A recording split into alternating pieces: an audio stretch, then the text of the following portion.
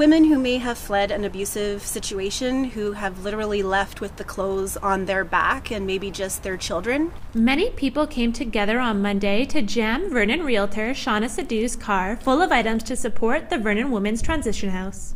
It's a cause that's not often recognized, so it's nice to support something like a little less known, and um, it's it's personal. It's a a cause that's close to my heart. I'll just say that something I truly believe in. We are a, a, really tight community of women here at the club, and so we feel very deeply about helping other women in our community who might be less fortunate. People are bringing in anything from brand new unused pajamas to makeup, razor blades.